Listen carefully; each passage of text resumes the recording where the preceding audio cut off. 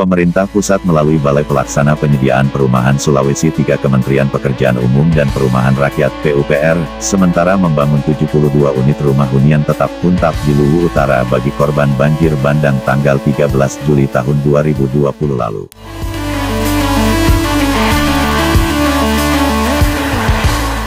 Bupati Luwu Utara, Indah Putri Indriani menandai dimulainya pembangunan 72 unit hunian tetap puntap yang ditandai dengan peletakan batu pertama di Dusun Paradoa, Desa Mapedeceng, Kecamatan Mapedeceng, Kabupaten Luwu Utara, Jumat tanggal 4 Juni tahun 2021.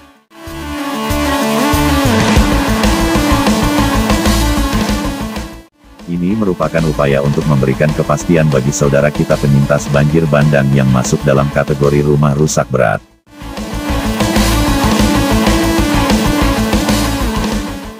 Lokasi ini adalah aset pemerintah daerah yang peruntukannya sebagian untuk perumahan ASN dan korban banjir bandang seluas 8 hektar.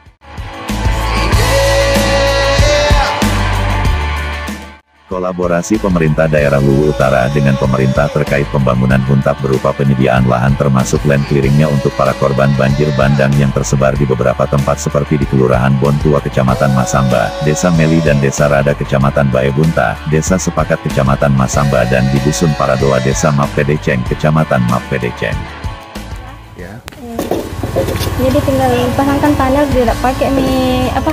Oh, terus lebih murah, eh, lebih cepat eh, tahan gempa ya bisa bongkar pasang eh, Wah. kan ini pracetak Ah. Eh, jadi eh, eh, dia pondasinya titik-titik saja Oh, tidak gitu. menerusnya begini Oh, kecuali titik-titiknya. eh, nanti di WC-nya Ah. masih pakai pondasi biasa Iya. enam enam enam isinya itu dua kamar eh, satu kamar mandi sama ruang keluarga Ruang keluarga. sama dapur Jadi tingkat ketahanan gempa ini sampai berapa, Bu?